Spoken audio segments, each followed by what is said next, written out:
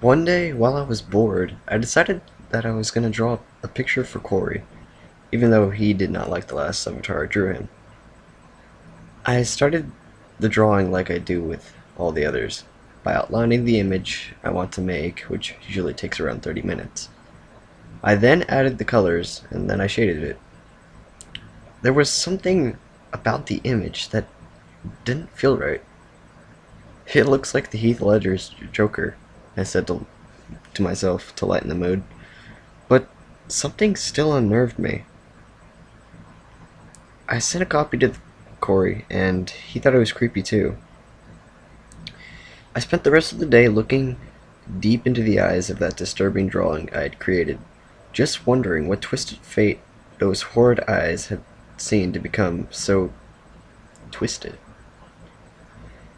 The next day I opened my file named Cory where I keep all the thumbnails and images I make for Cory.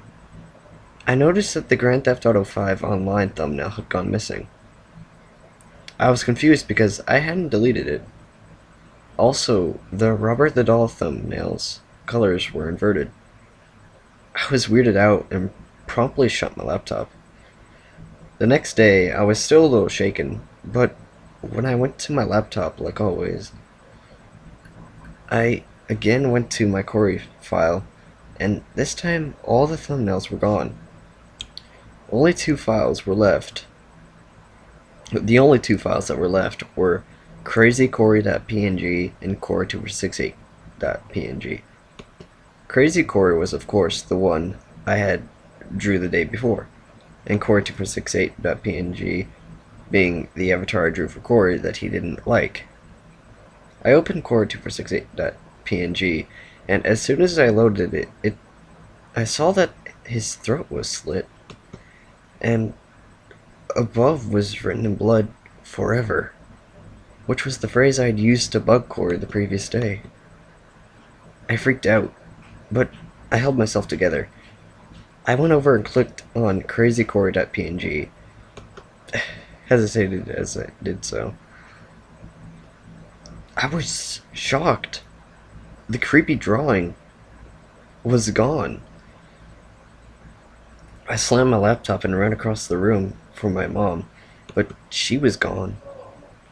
I ran into the living room and turned the corner, and that's when I saw him standing there. It was Crazy Cory. He stood there looking at me, but he did not speak a word. I reached for my sword, but as soon as I had, it disappeared. And when I turned around, he was right there, breathing down my neck. It stared at me for what seemed like forever. Then, when I thought he was gonna kill me, he said, Nick, no more goddamn shitty drawings. Then he left.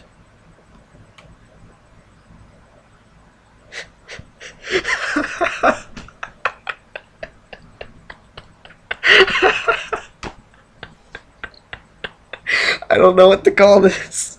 This was. I was laughing the entire way through. My god. This. I have no idea what to call this. This was a fucking shitty ass creepy pasta that my friend Nick decided to write for me. Um, if you guys don't know what this uh, pertains to, um, I'm pretty sure the thumbnail will be the fucking thumbnail for the video. Yeah. And as said in the uh, creepypasta, crazycory.png. Jesus Christ. That's kind of you, Nick. I gotta hand it to you. You're kind of creative when it comes to uh, writing. That's a good. I swear to God, I should read this in Morgan Freeman's voice. That'd be funny as fuck. oh my God. Anyway, hope you guys enjoyed. Uh, like, favorite, subscribe. Uh, leave a comment. All that stuff. I'm Cory268, and I will see you guys next time. Bye, people.